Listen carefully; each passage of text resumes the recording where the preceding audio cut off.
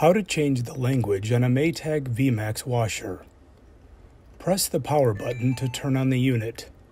Press and hold the spin and soil buttons together for 10 seconds.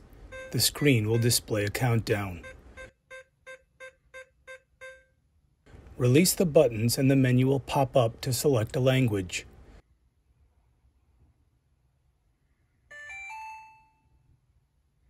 Toggle through the languages using the Cycle Signal button till you find the language you want. Press the Hold to Start button to select. Menu will ask if you are sure.